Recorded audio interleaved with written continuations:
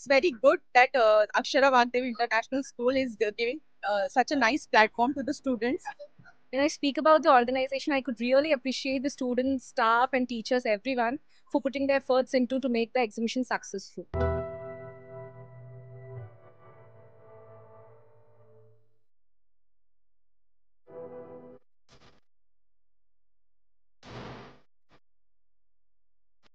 This time uh, they have divided the standards and uh, they got a good timing and a good place. I think you know it's all about teaming up with the students, uh, encouraging them. This is very encouraging. So thank you again for the opportunity. It just made my day. Thank you.